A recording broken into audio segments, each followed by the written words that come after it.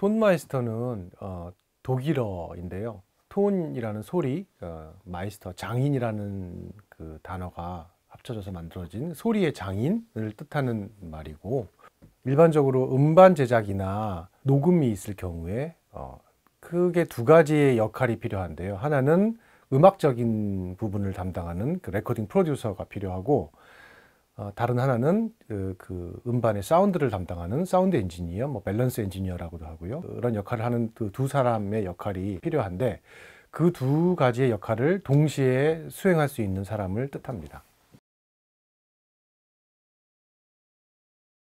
저는 음악 가정에서 태어나서 어렸을 때부터 음악을, 그러니까 뭐 다섯 살 때부터 피아노, 뭐 대부분의 음악 가정에서 그러하듯이 피아노를 이제 시작을 했었었고 그 외에 뭐 클래식 기타를 한 적도 있었고 뭐 어떤 여러 가지 이런저런 음악을 좀 했었었고요. 어, 대학교 때는 호른을 전공했었었고 독일에서 이제 레코딩 엔지니어링을 이제 공부를 했습니다.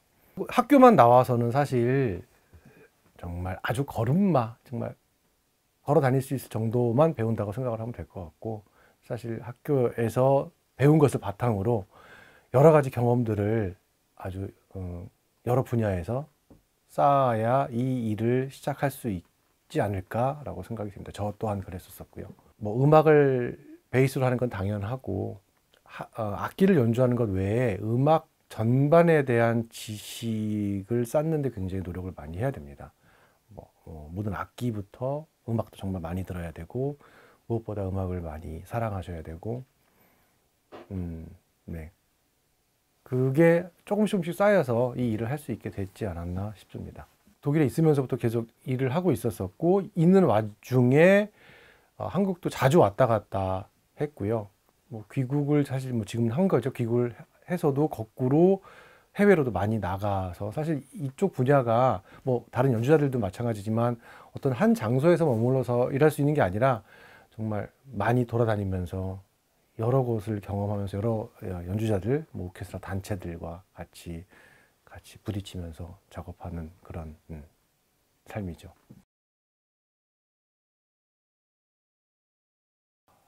일단 듣는 힘을 키우는 게 굉장히 중요한 것 같습니다. 저는 다행히 어, 어렸을 때부터 어, 좀 좋은 소리를 들을 수 있는 기회가 많이 있었어서 자연스럽게 어, 그 좋은 소리가 어떤 것인지 습득을 하게 되, 었고 저도 모르게 무슨 놀이를 했냐면 뭐 놀이라기보다는 집에 옛날에는 LP가 주로 있었었잖아요. LP를 카세트 데크라고도 있었어요. 정말 이제 일반적으로 많이 듣는 워크맨 그 카세트 그 두 가지 다른 메이커의 카세트 데크가 있었었는데 거기에 동시에 녹음을 해서 어떤 게 좋은지를 저 혼자 스스로 막 비교를 해봤어요. 초등학교 때. 초등학교 때부터 그렇게 안 놀잖아요. 근데 저는 그렇게 놀았더라고요. 생각을 해보니까. 근데 그러면서 이제 그게 뭐가 좋고 어떻게 소리가 다르고 이런 거를 이제 놀면서 해왔는데 이게 업이 될 줄은 지나고 보면은 이 일을 안 했으면 제가 뭘 할 수 있을까라는 생각이 들더라고요.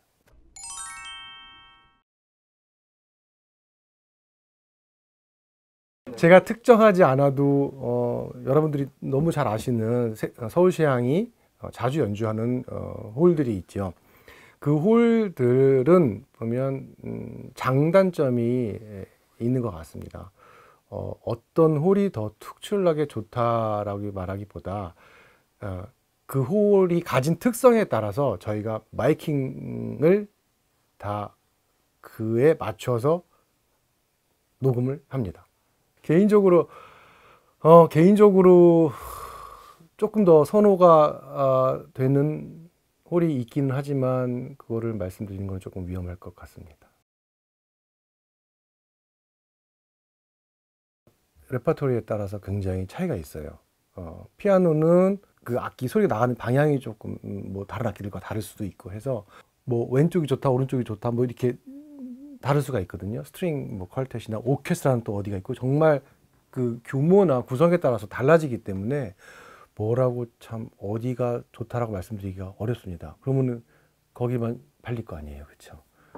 바이올린 같은 경우에 악기 이제 방향에 따라서 예를 들면은 무대를 바라보고 왼쪽보다는 오른쪽이 좀 나을 수가 있고 하거든요. 피아노도 마찬가지. 사실 피아노가 손이 보여서 왼쪽을 선호하는데 사실은 소리가 더 오른쪽에서 잘 뻗어나가서 약간 완전 오른쪽 말고 약간 중간에서 오른쪽 다 말해버렸네.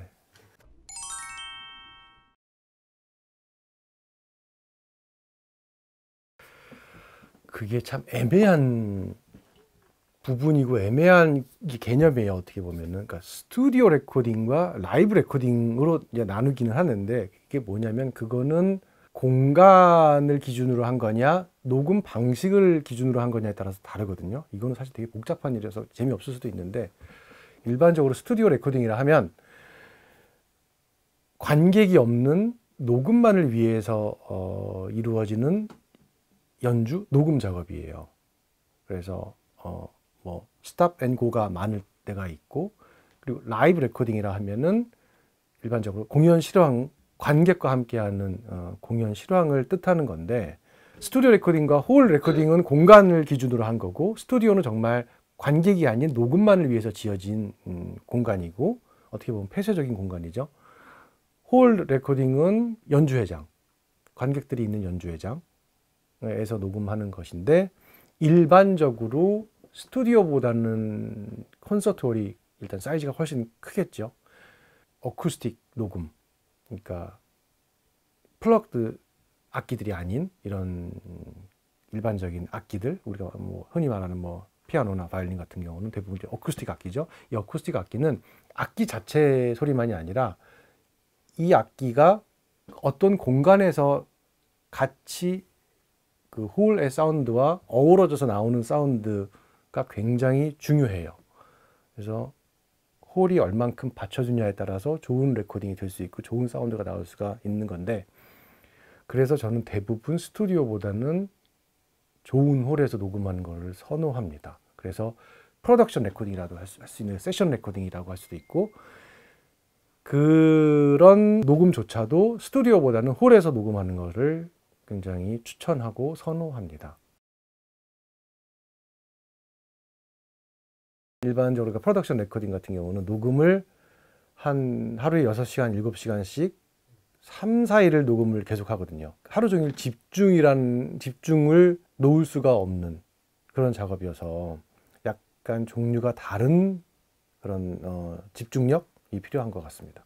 라이브 레코딩이냐 프로덕션 레코딩이냐에 따라서 다른데 사실 라이브보다는 프로덕션이 훨씬 더 재밌긴 하거든요. 음반 녹음을 하면은 아까 말씀드렸다시피 한 3, 4일 동안 하루 6, 7시간씩 정말 끊임없는 음, 연주자와 같이 사투를 벌이는데 어, 6, 7시간 사실 연습을 해도 6, 7시간은 힘들거든요. 근데 6시간, 7시간이 연습은 하다가 약간 좀 편하게 갈 때도 있고 잠시 긴장을 놓을 때도 있는데 녹음 6, 7시간은 최상의 연주를 정말 사력을 다한 연주를 6, 7시간을 하는 거예요. 그러다 보면 한 이틀째 지나면 연주자들이 이제 정말 영혼과 육체가 바닥이 나는 어, 음, 그런 음, 경우도 있고 그런데 그렇게 어, 뭔가 심신이 탈진하고 난 다음에 만들어진 그런 작품들을 보면 영혼과 육체를 갈아 넣었다고 하면 안 될 것 같고 비석으로 쓰면 안 되죠. 음반 작업을 하면은 3, 4일 동안 정말 사력을 다해서 어, 연주를 하고 그걸 담아내게 되는데 그렇게 영혼과 육체의 모든 것을 쏟아내고 난 후에 그 다음에 보면은 만들어진 음반을 보면 하나의 정말 걸작이 탄생되곤 하더라고요. 음반 작업하면은 정말 들어가요. 아니, 후벼 팔 때까지 가요 정말로. 그러다가 보면 나와요. 뭐가 하나 나와요 이렇게. 예, 그러면 멋있게 뭐가 하나 이렇게 나오더라고요. 그들의 마음속에 들어가거든요 그 사람이 어떤 상태이고 어떤 심리인지를 사실 그걸 파악을 해야, 해야 되거든요. 녹음을 하려면은. 그냥 무조건 여기를 뭐 더 여기를 더 좋게 일을 절대 작동을 안 해요 그렇게. 정말 이렇게 둘러서 갔다 오르락 내리락 했다가 들었다 놨다 하다 보면 어느 순간인가 이렇게 나오더라고요. 테이크를 바꿔달라. 어디 음정이 좀 다른 음정이었으면 좋겠다. 뭐 템포가 어땠으면 좋겠다. 소리가 어땠으면 좋겠다. 사실 음반 작업을 하면서 굉장히 수정 사항이 많이 있는데 그거는 음, 음반이 탄생하기 위한 하나의 과정이고 사실 모든 음반이 최선을 다해요 정말로 같이 작업하는 음반 연주자가 거장이던 아니면 떠오르는 신예이건 정말 최선을 다해서 같이 작업을 하고 정말 녹음 하나 하나에 그 에피소드가 없는 게 없거든요. 네, 우여곡절이 없는 게 없고 정말 그런데 그러다 보면은 뭐가 나와요 정말. 대부분 저희가 마이크를 들고 가서 설치를 하고요. 천장에 있는 것부터 거의 다 대부분 설치를 하고 홀에 따라서 조금 다르긴 하지만 거의 대부분의 마이크는 어, 직접 설치를 하고 어, 녹음을 하게 됩니다. 마이크 일단 종류 선택과 설치된 장소, 위치, 방법에 따라서 소리가 매우 달라지기 때문에 그거는 저희의 컨셉에 맞는 마이크를 예, 셋업을 하게 됩니다. 음원들은 약간의 보정 작업을 거쳐서 조금 더 듣기 좋게 이미 좋았던 음원을 조금 더 좋기, 좋, 듣기 좋게 작업을 해서 올리게 됩니다. 예를 들어서 기침 소리나 뭐, 뭐 전화벨 소리, 말 소리들 이런 것들을 지우는 작업을 할 수도 있고 하...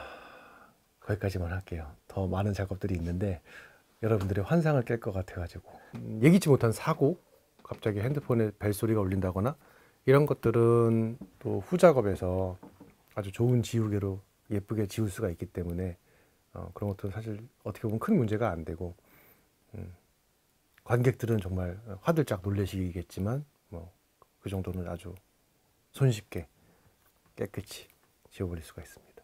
그런 게 많아요, 굉장히. 조금 더 박진감이 있어요, 저는 하면서. 그리고 이제 작업을 하면서 뭐 댓글들이 오는 걸 보기도 하거든요. 재밌어요. 이게 좀 이렇게 반응이 오면 굉장히 재미있고, 음, 근데 어디는 보면 얌전한 때도 있고. 온라인 중계를 하면은 그냥 그냥 녹음해서 후작업을 하는 것보다 어쨌든 그 실시간에 최상의 결과를 뽑아내서 전달해야 되기 때문에 조금 더 긴장을 하고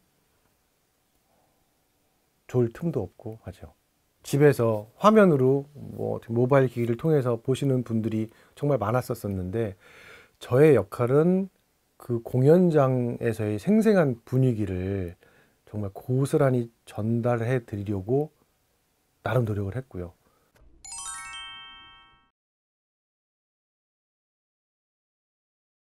온라인 비대면 콘서트를 어, 온라인 실시간 중계 아니면은 뭐 녹화 중계를 하는 일이 굉장히 많아졌습니다. 이거는 우리나라만이 아니라 사실 전 세계적으로 이게 거의 지금 뭐 거의 일상화되다시피 에, 이루어지고 있고요. 그러다 보니까 quality가 좋아지고 보는 사람들도 이제 quality 좋은 것을 찾으시고 변별력이 생기셔서 그래서 조금 수준 미달의 콘텐츠들이 나오면 굉장히 만족을 못 하시는 음,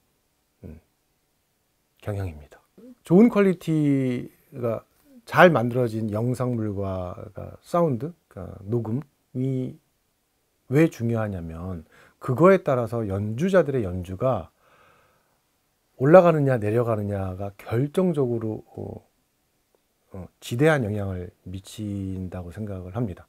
제가 작업을 할때 어, 보통 오케스트라 녹음을 하면은 한 30개에서 40개 정도의 마이크를 사용을 하는데 각각 마이크들을 이제 블렌딩을 하는 거죠. 믹싱을 하는 거죠.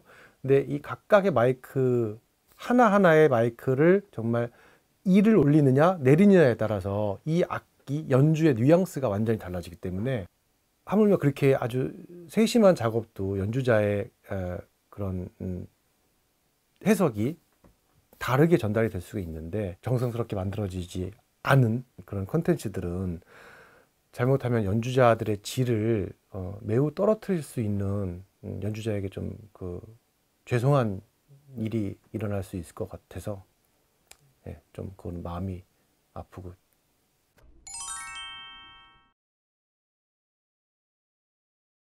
서울시향과는 2007년부터 작업을 계속 해왔고 어, 서울시향 외에도 뭐 코리안 심포니, 뭐 KBS 경영학당, 부천시향, 뭐 그 외에 많은 오케스트라들과 작업을 했었었고 다른 연주자들 어, 우리가 어, 뭐 많이들 알고 계신 음, 대가본들이라고 해야 되나 뭐 백건우 선생님도 그렇고 정명원 선생님, 정경환 선생님, 뭐 조수미 뭐 젊은 연주자 너무 많죠. 정말 손여름도 있고 사실 거의 다 한 것 같아요.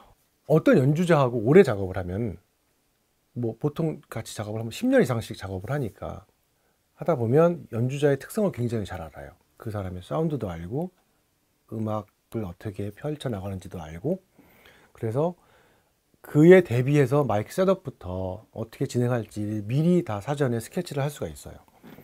서울시장하고도 벌써 십몇 년을 일했죠. 뭐 서울시장만이 아니라 다른 오케스트라도 정말 작업을 보통 대부분 10년 이상씩 다 하고 있는데 그렇게 오래 하다 보니까 오케스트라 단원들이 어떻게 연주를 하시고 어떤 색깔을 가지시고 계신지를 꽤 많이 파악을 해서 마이크 셋업할 때부터 마이크의 위치, 뭐 종류 선택, 그리고 믹싱할 때 등등 음, 최대한 장점을 잘 살려서 담아낼 수가 있습니다.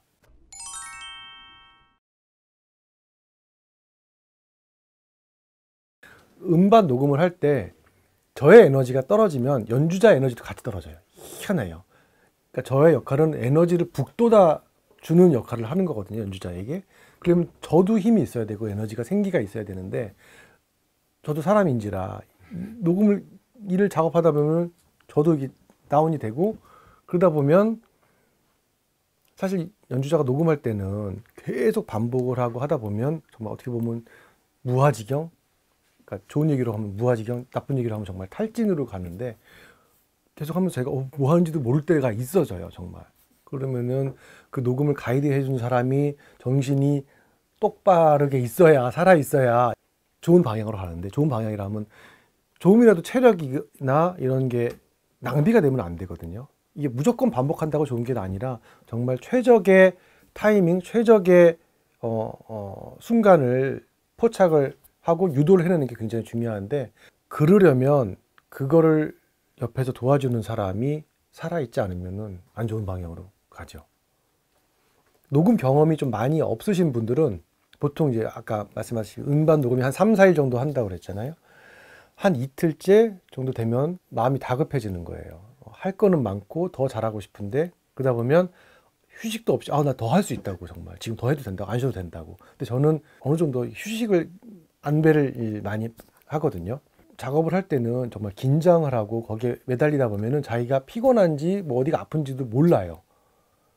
그러다 보면 이틀째 지나고 3일째 보면은 완전히 뭐 체력이 바닥이 나서 고갈이 돼서 에너지가 완전히 다 소진돼서 마지막 날을 버린 경우가 가끔씩 있거든요. 그 말을 잘 따라주고 거기에 정말 믿고 내려놓고 좀 휴식을 하면은 그 다음날 충분히 좋은 게 나올 수 있는데 급한 나머지 정말 아 여기 계속 할래요 하다 보면은 이렇게 예, 힘들어지는 경우가 많이 있어요. 쉰다기보다 작업을 해놓고 어느 정도 시간을 두고 그 다음에 또 다시 한번 체크해보고 하는 게 굉장히 중요하긴 합니다. 음, 사실 귀를 실는 것도 중요해서 음악을 옛날에는 정말 많이 들었거든요. 그런 질문을 많이 받아요. 음악을 뭐 어, 많이 들으세요 하는데 요즘은 사실 음악을 예, 듣는 시간은 많이 없죠. 거의 작업 하는데 제 귀를 할애하는 바람에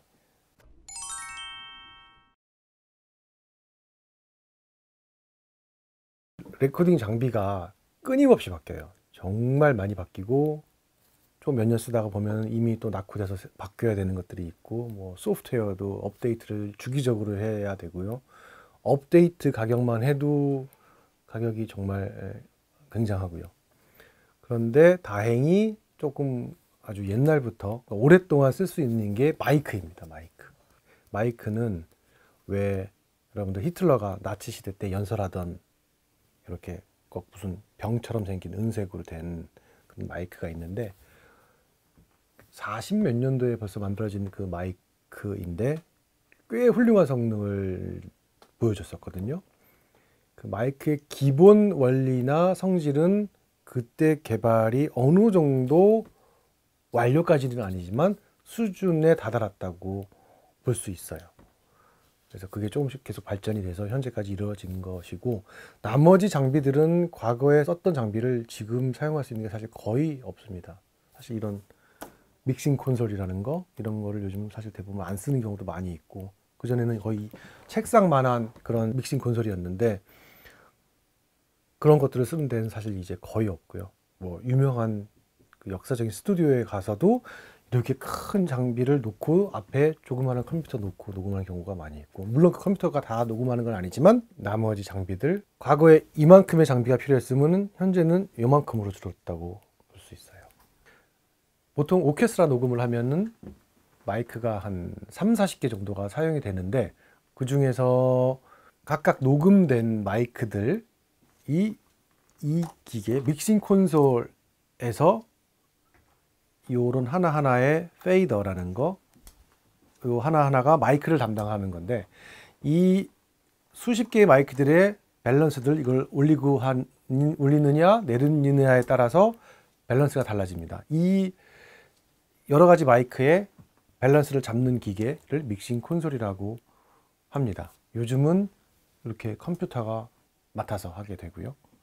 사실 믹싱 콘솔보다 컴퓨터가 더 좋은 것들이 많아져서 프로그램들이 저도 이걸 안 쓴 지가 정말 한참 됐고 일반적으로 우리가 듣는 뭐 이어폰이나 헤드폰 어, 왼쪽과 오른쪽 그걸 스테레오 포맷이라고 하고 이거는 다섯 개의 채널 서라운드 포맷입니다. 어, 요즘은 3D라고 해가지고 또 한 layer 한 층이 더 어, 붙게 되는데 어, 현재는 이 스튜디오는 서라운드 포맷으로 setup이 되어 있는 스튜디오입니다. 서울시향의 녹음들은 모두 3D로 녹음이 되고 있습니다.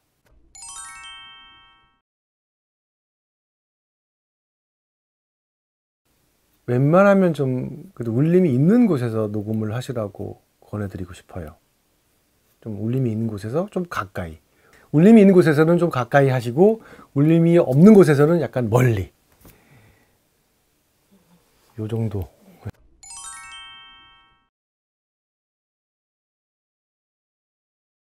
베를린 디지털 콘서트홀이 몇 년 전에 시작이 되었을 때 어, 우려가 있었어요.